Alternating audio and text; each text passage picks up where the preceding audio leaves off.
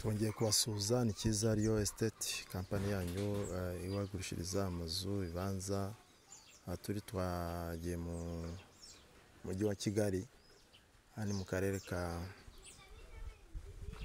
kicukiro hano i masaka aho bita ku ruyaga aho twagiye kureba inzu igurishwa inzu iri mu kibanza kigali pariseri magana inani sikwa mita magana inani zirenga ahantu hakaba hagurishwa miliyoni cumi n'eshanu.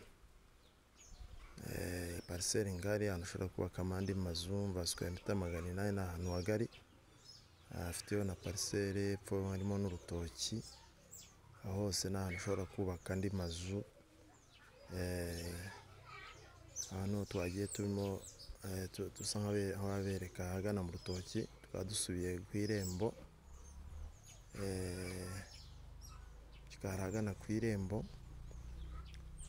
Dusanga ikibanza kigari gikora ku muhanda ahantu ushobora kubaka igipangu kigari kirimo n'amazu.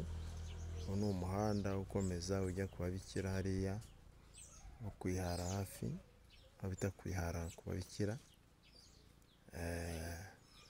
Igipangu cyose rero hose ubona n'iyo nzu ni ibyumba bine na salo. Saramanje dushe na tuwarete imbere.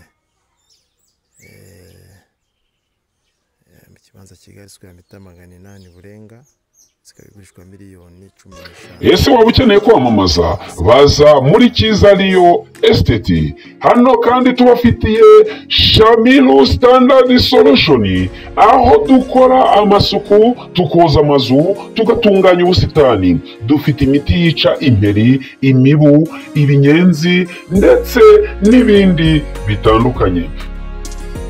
Cyiza riyo esiteti ku bufatanye na gatera ofusho tivi ni ho dushobora kukwamamariza honyine ibyo wifuza byose kandi ukahabonera imitungo wifuzaga wari warayobewe aho wayishakira. Tugane tukwamamarize kuri cyiza riyo esiteti cyangwa se kuri gatera ofusho tivi ubundi tugufashe kubona ibyo wari warabuze wifuzaga kumenya bijyanye n'imitungo igurishwa ikodeshwa n'ibindi byinshi bitandukanye. Cyiza riyo esiteti niyo yonyine yonyine mu rwanda no ku isi yose yagufasha muri izo serivisi.